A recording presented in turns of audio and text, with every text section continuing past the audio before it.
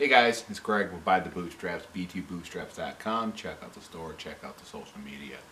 Um, making a video today because I want to talk about the COVID-19 and the, vac the vaccines and the way we are handling things and how things are progressing. My wife and I recently got the Johnson & Johnson shot uh, for the vaccine.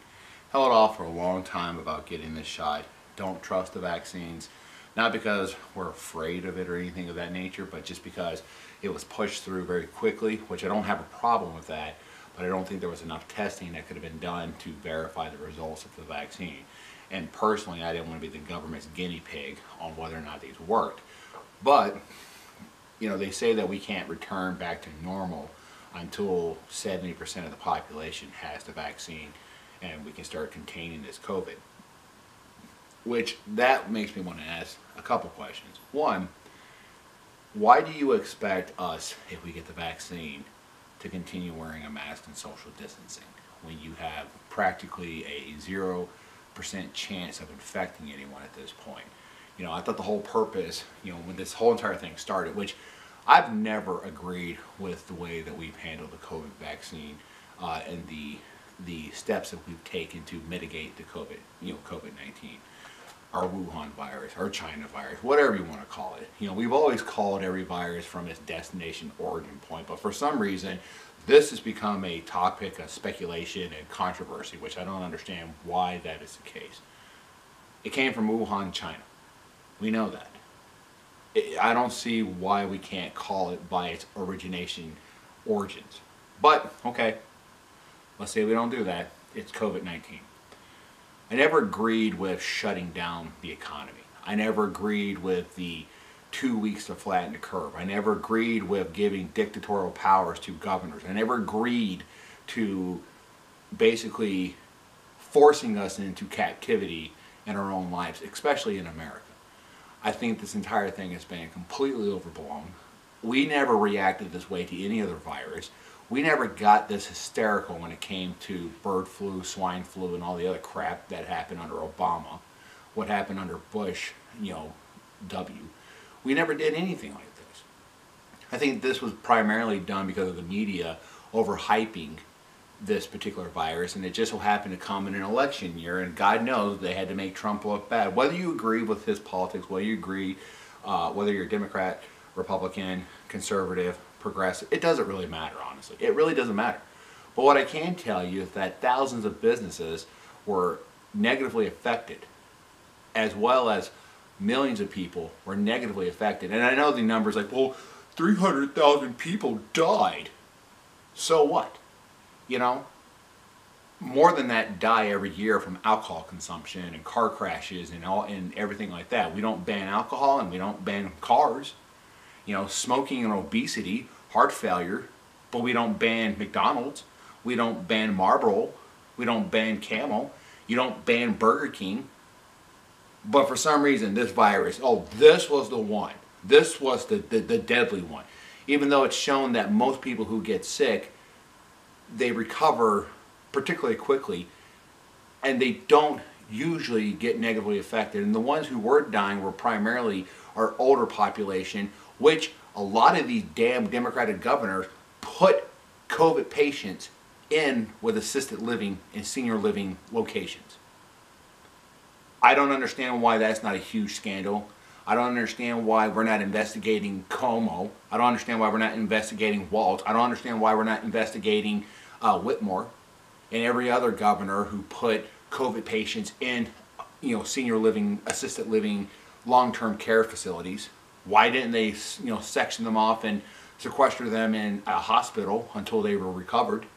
That makes no sense to me, and I guarantee you the death rate of the most vulnerable people, the elderly, those with immune system issues, those who were advanced in age, how many of those people could have been spared had these idiotic governors not put infected people into those locations? Those are primarily the biggest numbers for our COVID deaths but they were already people who were going to be negatively affected to begin with. But they're also the same people who are more negatively affected by the common cold. They're also the same people who are more negatively affected by influenza. They're also the same people who are more negatively affected by seasonal allergies. But yeah, we don't freak out over that. And no one gives a damn either. it was only because it was an election year. So we've spent trillions of dollars so far giving out these stimulus checks, which don't do a damn thing in reality. You think a $1.9 trillion stimulus check does anything when only 9% of that stimulus went to the American public? Don't you need to ask the question, where did the rest of that money go to and why was so much of it, the majority of it, allocated to other things outside of helping the American people if it was supposed to be the Recovery Act? I mean, you people need to start looking at the facts and start doing your own research and ask the questions why. All that being said, we finally got the vaccine, okay? Oh yeah, one more thing I do want to say. When COVID did first hit, it was supposed to be social distance, six feet away, or if you're not going to social distance, wear a mask. And of course, then the CDC said masks aren't effective. Oh, wait, now they are effective again. Oh, wait, now they're not effective. Oh, wait, now they're effective again. Oh, wait, now you got to wear two masks. Dr. Fauci is a publicity whore who loves, you know, I swear to God, he loves that red dot on the camera more than anyone else. He's almost as bad as Al Sharpton and Jesse Jackson. You know, that, that freaking thing flicks on and he's ready to push people out of the way. He pushed his own damn mother into a freaking oncoming car to get his face in front of a camera. Because he likes being in the spotlight. Because no one knew about him prior and no one gave a damn about him prior. But now he's out here saying that, well, even though we might have herd, you know, herd immunity, even though we might have 70, percent of people getting vaccinated, keep in mind some people won't, they don't want the vaccine. They won't take it even if it's available. No, we can't go back to normal. We got to wear masks and continue doing it for up till Mother's Day of 2022 or 2023 or 2024. Mask forever. The whole purpose of the social distancing was to keep people safe and separated. All right? If you weren't going to social distance or you didn't have the ability to social distance, then it was recommended to wear a mask. It wasn't supposed to be six feet away, mask, double mask, six feet away, double mask, stay home, can't go to church, can't go to movie theaters, can't go to small mom and pop businesses. Now, I'm no expert when it comes to vaccines or when it comes to uh, uh, diseases or anything like that, but explain to me, and I really want to know this, and if you have an answer for this, please comment below and let me know. How in the hell is it that Walmart, Target, almost all your grocery stores, Sam Clubs, Costco, everyone else, the big box stores, they were able to stay open. And you had thousands of people walking into these stores, not social distancing, half of people wearing their masks improperly, but yet churches couldn't stay open, even though they were willing to social distance and make their congregation wear masks. Nope, they can't stay open. Movie theaters can't stay open there, even though they were willing to social distance and require you to wear a mask. Nope, can't stay open. Mom and pop businesses like the Ace Hardware down the street like the jewelry store and the pet store, the bo uh, boutique stores, and the arts and crafts stores and the antique stores that are down the street that, that we live at. No, all they, they all had to shut down. How do you tell a family or a restaurant or a bar? I mean, that's another thing. We got to shut down the bars at 10 o'clock at night because, you know, COVID comes out at 10. This is one fucking smart ass virus, I swear to God. It knows time? Wow! I had no idea. That is amazing. Oh wait, it knows when you're eating your food at a restaurant where they make you wear a fucking mask to walk into the door, but the moment you sit your ass down at a table, even though you're not six feet apart, you can take that damn thing off, shove your food in your face, and it just seems to know to stay away. That is insane. This is the smartest damn virus. Man, congrats, China. You guys made a badass virus. These restrictions and rules don't make a damn bit of sense. They never have. Not one iota. You punish small businesses and restaurants and people who are just trying to make a living. You incentivize people to go on unemployment because they get their benefits, they get their bennies, with their little stimulus checks, their stimmies, and you incentivize them not to go back into the workforce because you continue to pay them to not work. But you're only doing that because of COVID relief. Here's a thought. How about you step out of it? How about you walk away? How about you let the economy come back and do what it needs to do? How about you let entrepreneurs set up their businesses and actually strive and achieve? And if they succeed, good for them. But if they fail, well, that's on them too. But the government shouldn't be coming in and forcing people to win and succeed or fail based on arbitrary rules that don't make a damn bit of sense to anyone. You know, I keep hearing from Minnesota, for example, oh, we're following the science. What science? When you specifically ask them, where's your evidence? Where's your proof? Where's your documentation? Where can you point us to where we can do our own research and then see what it is you're comparing these to so that we can go, oh, that's a very educated, you know, that's a very educated hypothesis. I can see why you're doing it. You don't get anything. We have a dictator governor who will not relinquish his gubernatorial dictator powers. He's had them for over a year, and now he's telling us, oh, that by July, very convenient for that re-election time frame, he's going to start relinquishing those government controls. He didn't say he'd give up his emergency powers. He's just going to start allowing us to live our lives. Thank you, Governor Walz, or Whitmer, or Cuomo, or whoever the hell you want to, you want to thank. Democrats, by the way, just saying.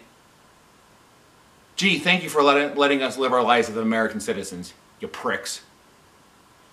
But I'm going to get back to the vaccines here because that's what I started with. You know, when my wife and I got the vaccine, we didn't do it because we cared about anyone else. I'll be quite frank with you. I don't give a damn about you. I didn't care about this damn virus. I haven't worn a mask this entire time for the most part. Very, very, very, very few occasions because I refuse to be dictated to by, by people who don't know what the hell they're talking about and I refuse to live my life because of feel-good feelings. Because it makes someone else feel safe. Well, guess what? If you're wearing a mask and everyone else is wearing a mask, and I choose not to, that's my inherent risk. I can make the decision. I don't need you or Karen or whatever they call the Karen males, Dylan, Bob, Mark, I don't give a shit. I don't need you assholes coming up to me telling me how to live my life because you're afraid. Guess what? Stay six feet away. Problem solved. It's problem solved. I make the choice. You make the choice we can agree to disagree. And as long as you're willing to double mask, triple mask, face shield, goggles, freaking gloves, and everything else, that's your choice. I think you're an idiot, but that's your choice. And guess what? And if I get COVID or would have gotten COVID before the vaccine, I would have taken the I would have taken the, the, the risk and the reward or the failure. It is what it is. I made the choice. So we got the vaccine, but we only did it because we're going to be traveling here, and I don't want to deal with the, the issue with everyone else, you know, bitching and moaning and complaining. And I do want things to go back to normal. But I can tell you one thing, I'm not going to wear a damn mask anymore. Not that I did much to begin with, but I can guarantee you I'm not going to wear one at all. I'm not going to wear a piece of cloth over my face that does absolutely nothing. Which, but have you seen these damn, they're not medical grade masks. Give me a break, people. A handkerchief? The little gaiters, as they call them? I mean, you people are fucking stupid if you think that's solving or doing anything to protect you. Apparently you guys do not understand microns and how small the particles are and how they infiltrate and how they get through materials. If you think your handkerchief on your face makes you safe, well, I guess you feel good. If you think your little cheap ass medical grade, not even medical grade, but those stupid little blue masks, throwaway masks, you think those are safe and you're safe by that, well, okay. You could throw on three, four of those things, and guess what? It doesn't matter. The guy who invented them in Canada, I forget the gentleman's name, he actually went on TV and did an interview and said, I don't understand why everyone's wearing these masks. They don't work in this, this capacity. All that mask is designed to do, those cheap blue ones that you see everywhere, it's just designed to stop you from spittling at people. It's to keep particles from projecting forward. It doesn't stop the breathing, the in and the out, and the oxygen intake and the microns and the filters and everything else that go through, it doesn't stop that. Only medical grade masks actually do that. And no one is walking around with that except for medical professionals. This is virtual signaling and it's ridiculous. And if you guys want to continue living in fear, well, guess what? That's your choice. I'm not going to do that. My wife and I, you know, now that I got this vaccine, reluctantly, I'm not going to walk around with a mask. I'm not going to social distance anymore. Why? The whole point was to get the vaccine so that we can move on with life. Well, I got it. I'm moving on with life. You guys want to be scared, walk around? Fine. I'm not playing that game, and I hope everyone else who gets a vaccine does the exact same damn thing. Maybe then we can get back to some kind of normalcy. Anyway, comment below, let me know. I'll talk to you guys later.